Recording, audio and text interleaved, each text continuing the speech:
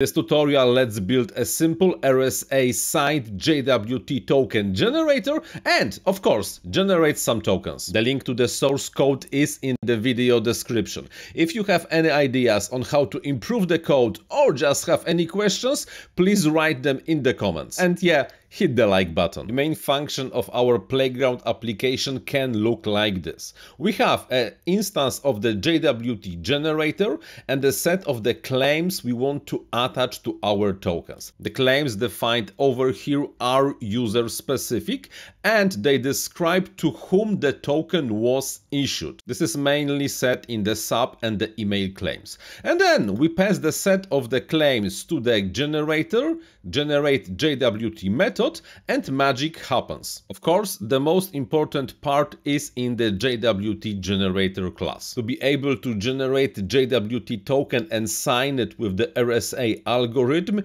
you have to have a key pair. In this example, to make it simple, we do not store the key pair, we just generate a new key pair on every initialization of the JWT generator. Fast, convenient, and for this example, it's just enough. Will work great for any kind of the tests with the JWTs. However, if you do want to generate a real JWT and use it on the production environment, you would have to store the key pair somewhere locally and load it from the file on every initialization of the generator. However, we will not be covering this in this example. In this example, we just assume that on every initialization we have a new key pair because we are showing and learning how to generate the JWT, know how to load a key pair from file. This is why our key pair will be stored as the private variable on the class and initialized in the constructor of the JWT JWT generator.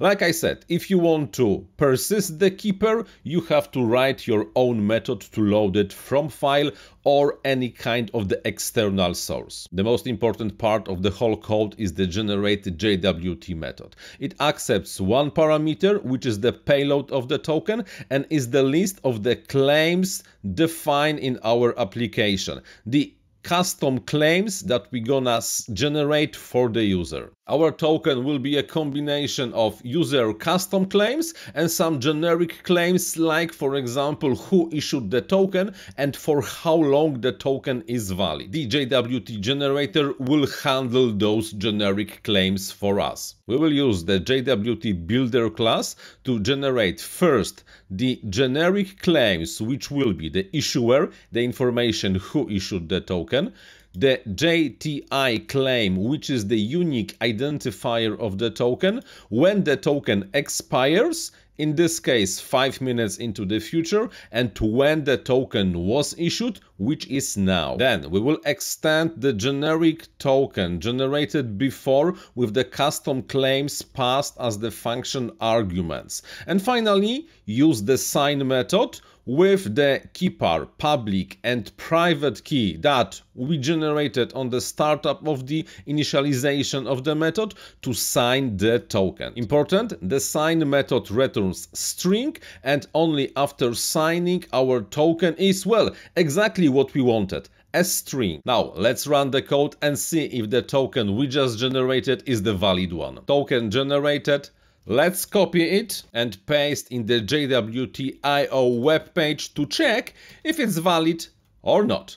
As you can see, yeah, it is a valid JWT token with the claims we set previously, both the custom user-specific claims like for example sub and the generic ones like the ISS, expiration date and the unique token ID. As you can see, the JWT generation with Java is a simple thing if you only have the proper tools and know how to use it. If you would like to know how to validate a JWT token, here is the video for you. I'm Paweł Spychalski, thank you very much for watching and happy coding!